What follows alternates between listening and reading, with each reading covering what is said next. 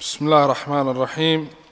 قال المؤلف رحمه الله واعلم أن الله تعالى بحكمته لم يبعث نبيا بهذا التوحيد إلا جعل له أعداء كما قال تعالى وكذلك جعلنا لكل نبي عدوا شياطين الإنس والجن يوحي بعضهم إلى بعض زخرف القول غرورا وقد يكون لأعداء التوحيد علوم كثيرة وكتب وحجج, كما قال تعالى فلما جاءتهم رسلهم بالبينات فرحوا بما عندهم من العلم. حسبك. الحمد لله رب العالمين والعاقبة للمتقين والصلاة والسلام على أشرف الأنبياء والمرسلين سيدنا محمد وعلى آله وصحبه أجمعين. وبعد To continue after our short break that we've had due to the travels was the part where the author mentions and know that Allah subhanahu wa ta'ala with his wisdom does not send a prophet with this tawheed except that he has appointed for him enemies. As Allah subhanahu wa ta'ala has mentioned that we have made for every prophet an enemy, devils from mankind and the jinn, inspiring one another with elegant speech of delusion. And then the Muallif he says, and it could be that those that oppose, meaning the enemies of Tawheed, possess knowledge of many sciences, books, and evidences. As Allah subhanahu wa ta'ala He says, and when their messengers came to them with clear evidence, they rejoiced because of that which they possessed of knowledge. Uh, our last lesson, uh, Shaykh Salih al Fawzan, he mentions that this was summarized into two the reason of why there was enemies of the prophets. It was summarized into two. And we took the first um, affair, and that was due to it being an ibtila, and a test we mentioned. That these hardships and these tests, it makes manifest, and it distinguishes between the truthful ones and the hypocrites and the disbelievers. So, this was from the first reason, uh, from the wisdom of Allah subhanahu wa ta'ala. And then Sheikh Salih al Fawzan in his explanation, he brought the verse where Allah subhanahu wa ta'ala he mentions in order that Allah may distinguish the wicked evildoers from amongst the good doers and put the evil wicked ones on one another. So, from these evildoers, Sheikh Salih al Fawzan, he mentioned briefly as well that they have elegant speech, that they have speech which is beautified, a speech which is camouflaged with falsehood, perceived as the truth in order to deceive the people. And that was just a little brief um, recap on what we took last lesson. So, so, what we want to focus on now is the second affair. So the first affair was regarding these enemies from their weapons, is they have elegant speech. And they are there in order to put a mankind to test and trial. And even though Allah subhanahu wa ta'ala's knowledge is all knowing of what is in the hearts of the people, but it is a hujjah against themselves. Al Amr Thani, the second affair, وهو العجيب, and it's something which is astonishing. The second affair, أن الدعاة الباطل يكون عندهم علوم, that the callers of falsehood, that they have with them some ulum, some sciences in their books and they may bring about argumentation, proofs for their arguments to the people of truth. As Allah subhanahu wa ta'ala has mentioned in that statement, فَلَمَّا جَاءَتْهُمُ الرُّسُلُ That when the messengers came to them, meaning who? To the kuffar, to the disbelievers, بِالْبَيِّنَاتِ With clear proofs. Proofs that was reality, which was knowledge and clarification. What happened to them Allah subhanahu wa ta'ala says, فَرَحُوا بِمَا عِندُهُم مِّنَ الْعِلْمِ And he says that they rejoice because of what which they possessed of knowledge. Sheikh Salih al-Fawzan, he says this knowledge is what they inherited from their forefathers and their fathers. This is what was present in their books, and this is what was uh, passed down to them. وهذا الواقع الآن and this is the reality of today. The reality of today, if we was to see the books of the people of falsehood, كتب الجهمية, like the books of the Jahmiyyah and the Mu'tazila and the Asha'ira and Shia. It mentions in their books, they bring what? Hujaj murakkabah, muzifa. They bring within their books false and complex proofs in order to deceive the people. To deceive who? الذي ليس عنده تمكن من العلم the one that, that, that does not possess knowledge or have knowledge. They deceive and fool these type of individuals. فالعلم الكلام والعلم المنطق اعتمدوه regarding the rhetoric speech and logic reasoning is what they heavily depend upon. They have made that their asal. They have made that which they base their arguments upon. Rhetoric, speech, and logic. وَجَعْلُهُ الْعِلْمَ الصَّحِيحِ And they have made that to be the correct knowledge. They have made that as a base. This is what their foundation is.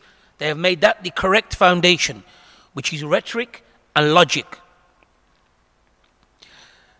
Then we have the statement of the author, Sheikh Muhammad ibn Wahab rahimullah, إذا عرفت ذلك عرفت أن الطريق إلى الله تعالى لابد له من أعداء قاعدين عليه If you know that the path of Allah will always have enemies and opponents upon it, people who possess, Wallah subhanAllah, how, what, what is ajib ikhwan? As a side note before I translate, that while reading this, it made you realize the virtues of Sheikh Muhammad ibn Wahhab rahimullah that he could compile such work that was so beneficial for his time and which is applicable in our time today. As if although he was talking about the people of our time today. Look what he says. He says if you know that the path of Allah will always have enemies and opponents upon people who possess elegant speech, and that is the way of the people of Hawa. Ahl al Bidah, they have elegant speech. Because they, we have mentioned in the previous lessons, they make this elegant speech likewise a foundation of their dawah to capture the people. So he says they possess elegant speech and knowledge and evidence.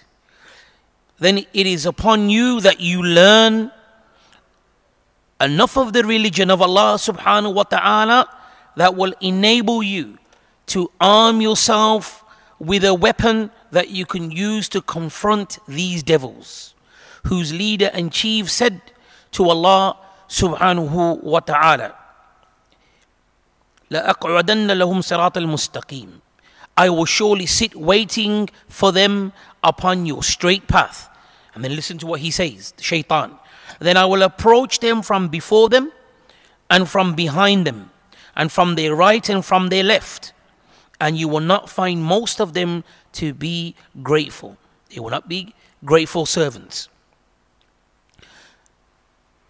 Sheikh Salih al-Fawzan, in that regard, he says, أما أدلة القرآن والسنة في حجج الظنية بزعمهم لا تفيد اليقين He said, according to their claim, who are they? Ahl al-Batil, people of rhetoric and logic in their reasoning. He said, according to them, the proofs of the Quran and the Sunnah are presumptive proofs, i.e., proofs that are based upon assumption and it is not something which is cogent, meaning something which is yaqeen, something which is sound and correct. وهذا من تمام الفتنة. Look what they've said. Sheikh Salih Fawzan said this is precisely the fitna of what they are doing. Because they are now saying that the adillah from the Quran and the Sunnah is not something which is sound, cogent, solid that we can take from. But rather it is based upon assumption with them. This is what they say. Sheikh Salih Fawzan says this is precisely the fitna of how they bring their falsehood upon the people. لأن الواقع صحيح هو العكس because the reality is opposite to what they are saying. What the, the reality is أن أدلة القرآن تفيد اليقين that the adillah of the Quran and the adillah of the Sunnah that is what is sound and solid. That is something that there is no shock in. وأما أدلة المنطق وجدل تفيد الشك والحيرة As for what they are claiming to be sound, which is the proofs, controversial logic proof, that there only brings about doubts and brings confusion and turmoil. And that, in essence, ikhwan, is the dawah of the people of rhetoric. All they want to do to you is to confuse you, to bring about turmoil, and leave off the text of the Quran and the Sunnah. And as you will see later on, Sheikh Salih Fawzan explains regarding the power and the strength of the Quran and the Sunnah. This is why the Messenger Muhammad sallallahu alayhi wasallam he always used to say in the beginning of his sermon, what did he say? فَإِنَ الْأَصْدَقَ الْكَلَامِ كَلَامَ اللَّهِ وَالْخَيْرَ الْحَدِي حَدْيُ مُحَمَّدٍ صلى الله عليه وسلم. That the best speech is the speech of Allah. The best guidance is the guidance of the Prophet Muhammad sallallahu alayhi wasallam. But what do they want to do? They want to remove that. And they want to replace those two fundamental things that the Muslim has. That is wahi munazzil min as-sama. That it is revelation that has come down from the heavens. They want to change that and replace it and bring a foundation of what? Rhetoric reasoning and logic. Using their mind and their intellect. Sheikh Salih Fawzan says that type of reasoning, that foundation will only bring about doubt, confusion, and turmoil Which was acknowledged from them at the time of death and at the time of them repenting and those who returned and retracted from rhetoric speech. إذا كان هؤلاء عندهم الفصاحة So if these individuals, meaning أهل الباطل, that if they possess elegance in their speech and in their proofs and in their arguments and in their books فلا يليك بك أن تقابلهم وأنت عازل He said, if, if you know the people of rhetoric, they are elegant in speech. They bring about rhetoric reasoning that they are very good at doing. Then it is not befitting for you to confront these individuals while you are unarmed and defenseless. So Sheikh Salih Fawzan is saying. What does Sheikh Salih Fawzan means that you are defenseless and you are unarmed? Does it mean that you you cannot meet these individuals if you're not carrying an AK-47? What is the intent here? Huh? Ilm. Ilm of what? Qala Allah wa qala Rasul. So if you do not have that, it is not befitting. It's better that you do not encounter such individuals from what they possess of their arguments and their elegant speech.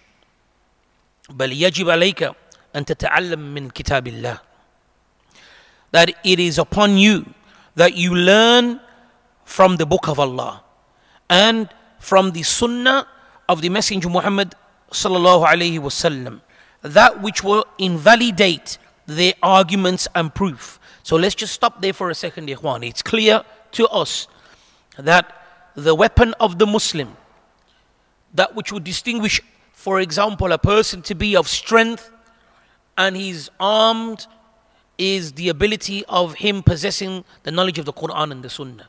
The more Quran and the Sunnah you have, the more dangerous you are, and the more position you are to defend this religion against these people that come with rhetoric kalam. And the little knowledge that you have of the Quran and the Sunnah is how weak you are. Sheikh Salih al-Fawzani says that we should take from the source, the Quran and the Sunnah. This will invalidate their arguments. He said these individuals who say that Iblis is their Imam, the Shaitan Iblis is their Imam, the one was at the forefront when addressing the Lord, Allah subhanahu wa ta'ala, the Most High, when He said that surely I will sit and wait against them. Against who? Bani Adam, human beings. This is the conversation now that the leader of them is having with Allah subhanahu wa ta'ala. That he will sit and wait against them. And what will he do? Upon wait, he sits on the straight path. That path that leads them. Now look at the shaitan. He will sit and wait upon the path. What path did he say? Did he say Sarat al Batil? Sarat al Mustaqim. So he will wait on that path and try to come. So what does he mean by the Sarat al Mustaqim? Ahl ilm they say that try to take Bani Adam away from the truth within the truth in the form of religion. Wallah, dangerous. And look how dangerous shaitan is that he promised that he will take the people away from the straight path with with the name of the straight path. So making people believe that they are getting closer to Allah, making people believe that they are doing good, but in actuality, they are being removed from the straight path. And then he promised that he will come to them from amongst them, uh, in front of them, and from the back of them, and from the right of them, and to the left of them. And then he even says as well, that you will not find most of them as thankful ones, i.e., you will not find them to be dutiful towards Allah subhanahu wa ta'ala. Sheikh Salih al-Fawzan, he says regarding this verse, he mentions the ahad al-khabith annahu so yuhawil al bani adam. He said, the repulsive one, he pledged that he will endeavor, meaning that he will seek to misguide Bani Adam, the children of Adam, mankind. He took a pledge. And likewise, his followers from amongst mankind, the shayateen from amongst mankind, those people of the books of misguidance, those individuals with deviated ideology. يقومون بعمل الإبليس. What do they do? They carry out the actions of Iblis in order to lead astray the people. So Sheikh Muhammad ibn al-Wahhab rahimahullah ta'ala he, he then says ولكن إذا أقبلت على الله he says however but if you was to turn to Allah subhanahu wa ta'ala and pay close attention to his clear proofs and evidence then this then do not fear or grieve. So Sheikh Muhammad ibn Abdul Wahhab rahimullah from the 12th century, all of that time there was saying regarding these people of rhetoric speech, these people that would try to come and take you away from your deen, the shayateen from amongst mankind, he's saying that if you was to turn to Allah and pay close attention to his deen, to the book and to the sunnah, then these people they cannot have any effect upon you and you should not fear or grieve against them. And then he quotes the verse inna qayd shaitan kana dha'ifa. Indeed the plot of the shaitan has always been weak. The plot of the shaitan has always been weak. Just before we start ikhwan to the explanation of what Sheikh Salih al-Fawzan he mentions there's a fa'idah that I want to mention. And it's a, fa'idah, a benefit that we have taken from the scholars, and it is also become manifest in our day to day lives. And that's especially with those individuals who, for example, may be possessed or fear these shayateen from amongst the jinn. That's the first category. And the second category is the shayateen of ins, of mankind. The first one regarding the jinn. That Allah subhanahu wa ta'ala is telling us that the chief of them, the greatest of them in power and ability, that his plan is weak. He is weak. Why I say this? There's been a few occasions that we've had to do ruqyah. Or you have individuals before doing the ruqyah, they say that I'm I fear at night such and such is happening, or I fear I may be possessed, and they just have a very, very big fear about the shayateen. But remember, this is something which I always make mention to the brothers and the sisters that try to be of those individuals who are the thankful ones to Allah subhanahu wa ta'ala, that turn back to Allah, that have belief in Allah with yaqeen. And once that yaqeen settles in your heart, wallah, you will not fear. Let me bring you the hadith of what Abu Darda radiallahu ta'ala he mentioned. Just to give you an idea of the weakness of shaitan. How weak shaitan is and how weak his people are. What's collected in Sahih Muslim, it's not in the explanation of Salih al-Fawzan, but I thought I'll bring this fa'idah. And it is a hadith, not a fa'idah from myself. It is the word of the Messenger Muhammad sallallahu wasallam. Abu Darda, he says that the Messenger of Allah sallallahu wasallam stood up to pray.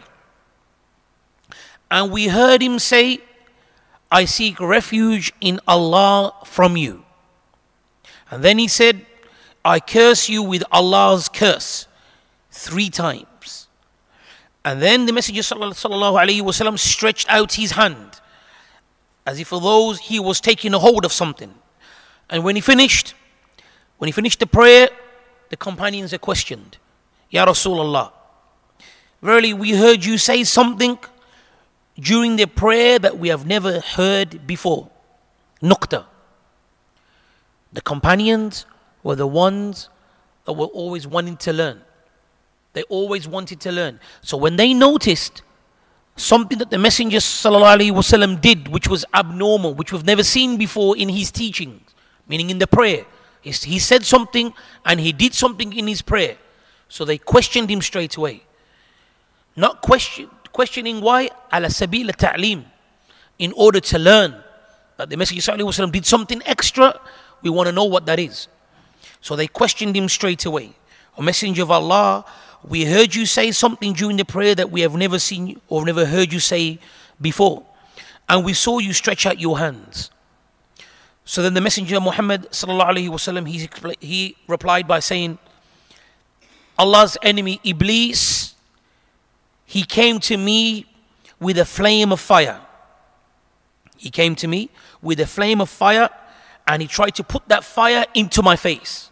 Who? Iblis. So I said three times, I seek refuge in Allah from you. And I said three times that I curse you with Allah's full curse. But he did not retreat on any of these three occasions, meaning he did not retreat back. And then listen to what the Messenger said. This is the shahid of why I'm mentioning this hadith. This is the point. So the messenger he said, I swear by Allah, had it not been for the supplication of my brother, who is his brother? Suleiman alayhi salatu wassalam. Had it not been for the supplication for my brother Suleiman, what was the supplication of Suleiman? Aywa,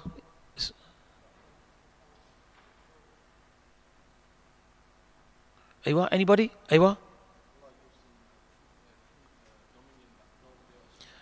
Sulaiman والسلام, requested from Allah that He gives him a kingdom, a dominion that no other messenger would possess. And from that dominion and the kingdom is that he could converse and have uh, dealings with the, with, the, with the jinn. So when the Messenger Muhammad ﷺ remembered that Allah granted him that dua, then it wasn't befitting for the Messenger to do anything with the jinn. And Iblis is from the jinn. So the Messenger ﷺ said, had it not been for the supplication of my brother, this is the shahid. Look how weak shaitan is. He said that I, would have bounded the shaitan, mean I would have tied him up and made him an object of sport for the children of Medina. What does that mean? Meaning he would have tied him up in the marketplace and he would have been a game, something for the children of Medina to play with. To play with, the children of Medina to play with. And this is who? This is supposed to be the one that is the strongest of them, the one that has the most power. So the shaitan, the iblis, has no power in front of Allah Azza wa. For those individuals who are taking the Sirat al Mustaqim, even he said that I'll come to him from all angles, except for the Salihin, those who adhere to the way of the Kitab and the Sunnah. So, in conclusion, the more Quran and the Sunnah that you have, the knowledge and the way you act upon it, the stronger you are against the shayateen. So, that there, Ikhwan, was just a small reminder to let you know, Ikhwan, that if you hold on and cling on to the book of Allah and the sunnah of the Messenger Muhammad there is no force, there is no shayateen that can bring about harm to you. And if anything comes to your way, it's by Allah subhanahu wa ta'ala's permission. So going back to the explanation of Sheikh Salih al-Fawzan, he says, the statement of Allah subhanahu wa ta'ala, فَقَاتِلُوا أَوْلِيَا الشَّيْطَانِ إِنَّ كَيْدَ الشَّيْطَانَ كَانَ ضَعِيفًا So fight against the friends of the shaitan. Indeed, the plot of the shaitan has always been weak. So Sheikh Salih al-Fawzan now he says, فهم مهما كان عندهم من القوة الكلامية والجدال والبراعة في المنطق والفصاحة إلا أنهم ليسوا على حق. He said regarding these people, the enemies of the Sunnah, these people that possess elegant speech, that upon falsehood, upon falsehood, the Sheikh Salih Fawzan says, even though they may possess strength in their speech and in their argumentation and proficiency in their logic and elegance in their speech, except that they're not upon the truth, they're upon batil. So, regardless all of these things which they may have, whom laysu ala haq. They are not upon the truth. Wa anta, and you sahibu sunnah, ma dumta tamassakan bil kitab sunnah. As long as you are clinging to the book of Allah and to the sunnah, and you understand the Quran and the sunnah, be assured they will never be able to harm you. Allah, strong words. They will never be able to harm you. And then Sheikh Salih Fawzan quotes the verse that the plot of the shaitan has always been weak.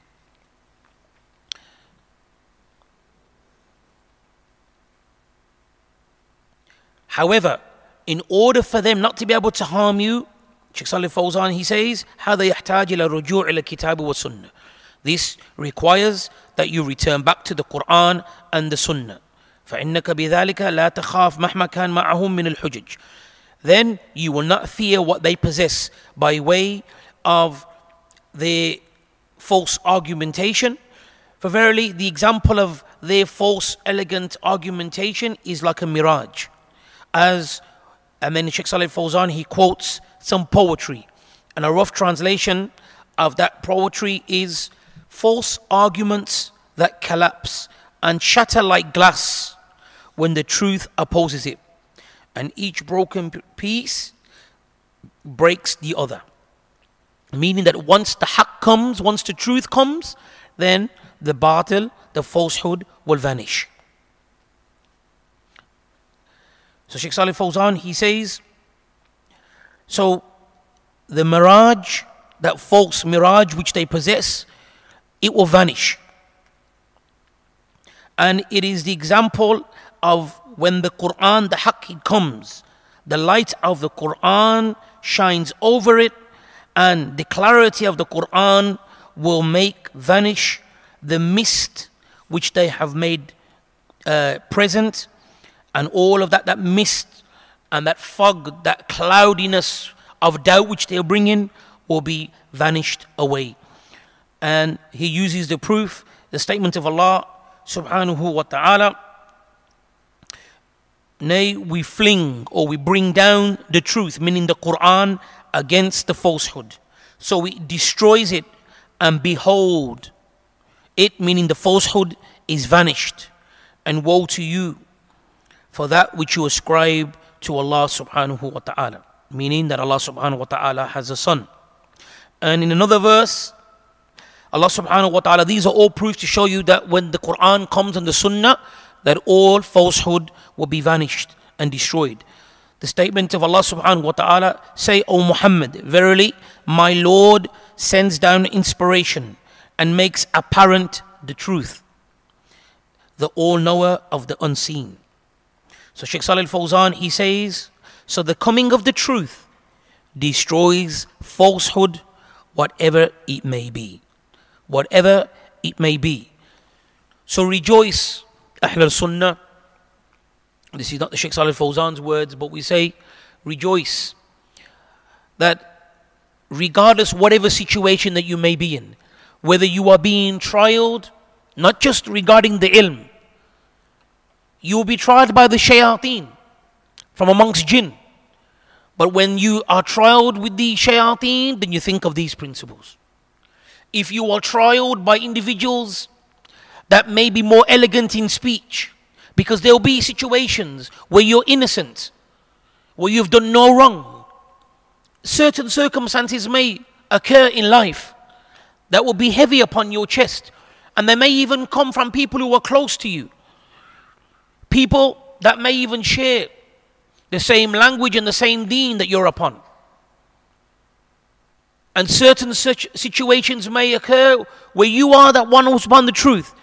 You are innocent, but their elegant speech or their position may seem and, and they may overpower you as if for those you are the wrong one. But have, good tidings to what Allah subhanahu wa ta'ala says. Cling at these times when you are oppressed, these times when people are wronging you or falsely accusing you of things, or whether you are being tried with the shayateen, whatever trial it may be, just know that the salvation lies and clinging to the sunnah and clinging to the book of Allah subhanahu wa ta'ala. By doing that, by Allah, the truth will be made manifest. Whether it takes a week, whether it takes a month, your innocence upon you being upon the truth will become manifest. And this is the sunnah of Allah subhanahu wa ta'ala. If you just analyze and look at our deen, Yusuf alayhi salam was wrongly accused. After how many years? After how many years did his innocence was declared that he was truthful? Aisha radiallahu ta'ala anha. Look at the trial that she went. And she was upon the truth. She was free from the accusations. But at the time when she was going through the trial, people with elegant speech, people with strong argumentation that was brought forth overpowered her. Overpowered her, radiallahu ta'ala anha, to the extent that even she could not turn to her father. She could not turn to her mother. She could not even turn to her husband, Muhammad sallallahu alayhi wasallam. And all she could do was turn to Allah subhanahu wa ta'ala. And then look, due to her innocence, due to her what? The same principle, Ikhwan. She held on to the Quran and she held on to the Sunnah. She did not forsake the Quran. She did not forsake the Sunnah. And she used to say that I know my Lord would declare my innocence. And she said, By Allah, I knew, but I thought it would be coming by way of a dream. Some other way. She said, I did not realize or anticipate that the truth would be made manifest through verses of the Quran that would be recited to Yom Al Qiyamah. Why did she receive such a tremendous reward? Why did her innocence was made clear that she was upon haqq?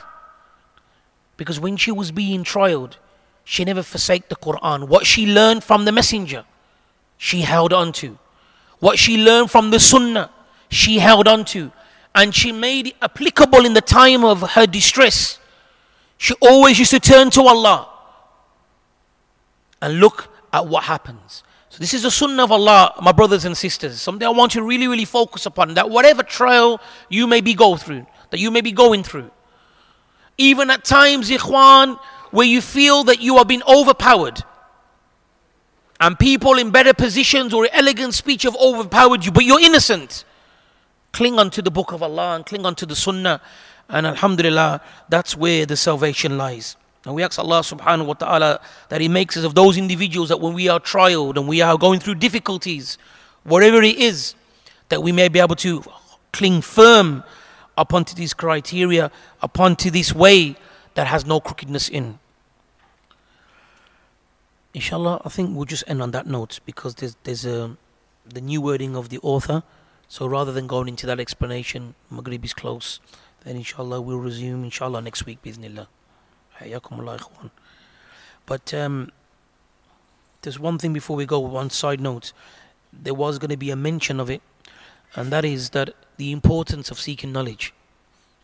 That you have to equip yourself with knowledge. That is your weapon. That is the weapon of the Muslim.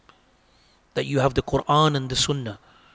So the more of the Quran and the Sunnah that you know, that is the most powerful speech, the most correct speech on the face of the earth. And the best guidance is the guidance of the Messenger Muhammad sallallahu alaihi wasallam. So that is what's going to protect you and that's what's going to help you. So these individuals that want to corrupt the religion and try to come upon the ranks and in the name of Islam and to distort this religion and to build false principles. And then they come with this elegant speech and then they come with these false arguments and rhetoric and logic reasoning. Then you must, in order to protect yourself, must have knowledge of the Quran and the Sunnah. So it is uh, reminded to myself, first and foremost, and Maskeen Fakir Allah, that how we have to turn back and learn more. And likewise, I advise my brothers and sisters that Alhamdulillah, we have been given this hidayah from Allah subhanahu wa ta'ala. So let's take it, take it with strength and hold on to it and cling to it. And Allah subhanahu wa ta'ala knows best. قولي قولي هذا استغفر لي ولكم فاستغفروه إنه هو الغفور الرحيم